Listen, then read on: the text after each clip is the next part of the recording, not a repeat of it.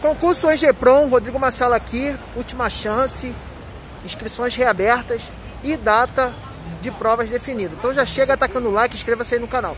Bom, se você acessar lá o site do Selecom, as inscrições vão estar disponíveis até o dia 6 de junho de 2021. Você faz o, o, a sua inscrição lá no site da Banca Selecom.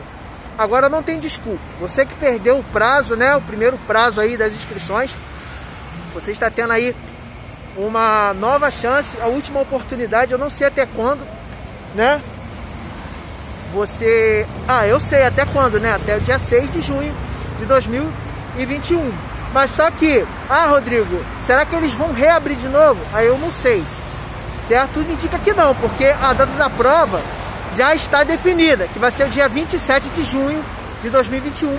Claro que pode ser alterada também a data da prova, né? E aproveite. Você que perdeu as inscrições da primeira vez, faça a inscrição no concurso em GEPROM. Dependendo do cargo, tem cargos ali que você vai estudar pouca coisa, pouca coisa. Você consegue aí zerar o edital é, questão aí de semanas. Mesmo se você é um iniciante, se você é avançado, importante de tudo é você participar e pegar experiência com, aí nos concursos públicos. Beleza? Então o que, que você vai fazer?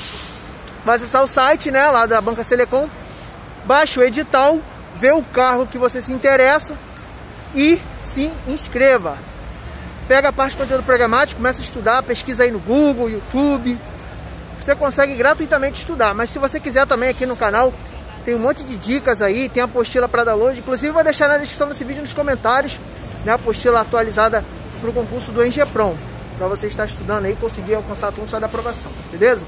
Então é isso aí que eu tenho para dizer, bons estudos, boa prova, qualquer novidade referente ao concurso Engepron, volta aqui para falar sobre. Tchau, e é isso aí. Boa sorte, boa prova, valeu!